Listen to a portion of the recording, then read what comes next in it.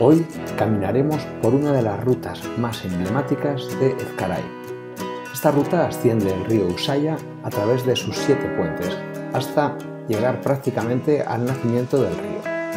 Después nos dirigiremos por la Umbría de Usaya hasta alcanzar las campas de Revencelaya y descender hasta Posadas.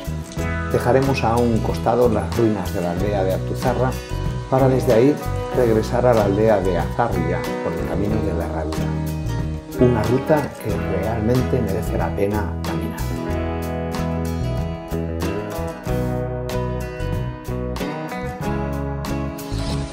Nos encontramos en el arroyo de Usaya. Para ser mediados de julio, sí que parece que baja bastante agua.